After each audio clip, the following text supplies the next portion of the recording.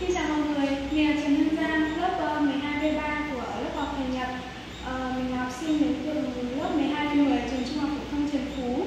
Trong kỳ thi ờ, tốt nghiệp trung học phổ thông vừa qua thì mình đã được 9,5 điểm văn và mình có một đôi lời mình nhắn nhủ đến các em 2K6 đó là hãy xuất phát sớm cùng lớp học Thành Nhật để có thể đạt được điểm thật cao giống à, cao hơn các anh chị khóa trước nữa. Ok chào anh à, Thời điểm hôm nay rất là vui vì là bạn đã trở về và báo điểm thi với thầy.